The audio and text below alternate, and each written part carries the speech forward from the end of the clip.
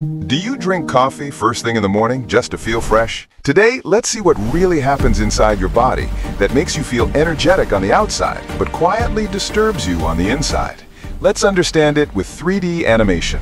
The moment coffee hits an empty stomach, your stomach acid spikes instantly, and your gut reacts like, hey, what'd you just drop in here?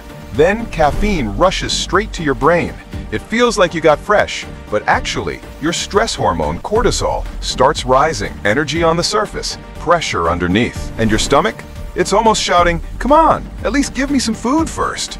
Empty stomach coffee can increase stress, anxiety, and sudden mood swings. That random irritation you feel? Yeah, this is one major reason.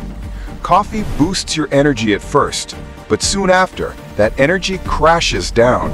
This is why you feel tired, dizzy or slow 30 to 40 minutes later.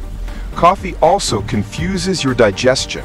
Your body becomes slower at absorbing nutrients, and when this keeps happening, your stomach, liver, and gut feel the pressure.